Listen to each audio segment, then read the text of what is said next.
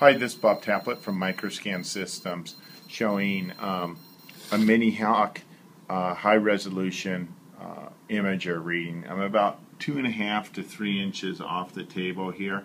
I get about an inch depth of field when this uh, code is presented. It's a laser etched uh, PCB board so um, with a 2D mark. So I'm going to put it in and you can hear the scanner start reading it.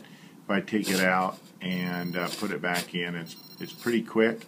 High resolution is a little bit better in this application because of I have more pixels per uh, pixels per element on the code, and the code is quite small. So, um, and if I'm coming in this way, it's reading pretty well, um, all the orientations and so on. So, once it lines up, it'll be fine. So. I have it window down. If I kept a larger window, it might be it's a little bit slower, but not. Uh, I think if if you had it windowed, it would be the best part of the application. So hopefully this is useful.